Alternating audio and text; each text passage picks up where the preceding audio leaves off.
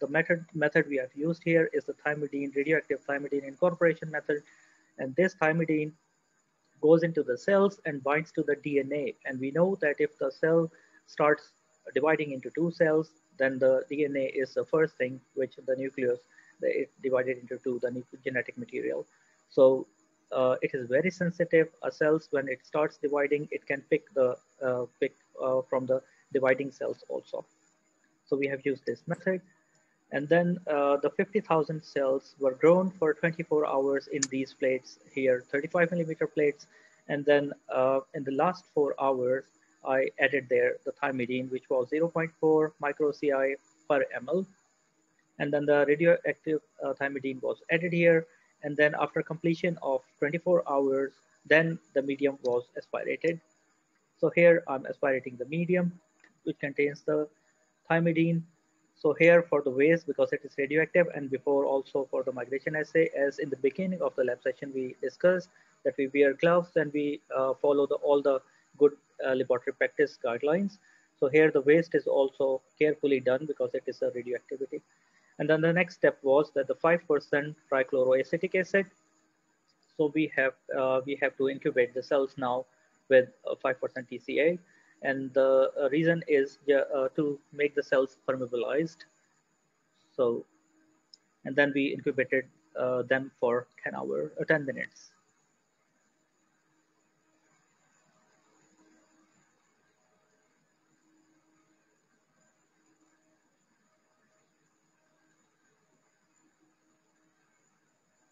All right, so after 10 minutes, then the next step was to add their we have aspirated the TCA, and then now I have added there the sodium hydroxide.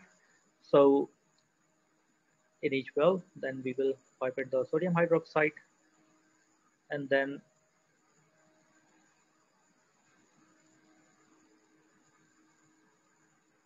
it is a 750 microliters, and we have to wait another 10 minutes. And after 10 minutes now, 600 microliter of each sample is uh, transferred into these uh, white capped scintillation tubes, which are labeled already.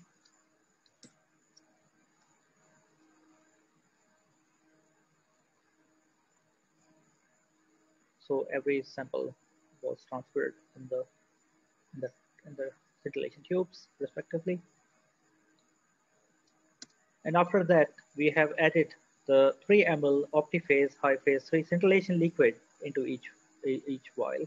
So first we have our sample there, the cells and uh, several fertilized, and then the, all the extract is in the in the in the scintillation vial. And here we are adding the OptiPhase scintillation liquid, which will help them to be measured. And then uh, the most important thing is you have to mix uh, very well uh, by vortexing. So here I'm adding the three milliliters of the scintillation uh, the scintillation liquid in each in each tube.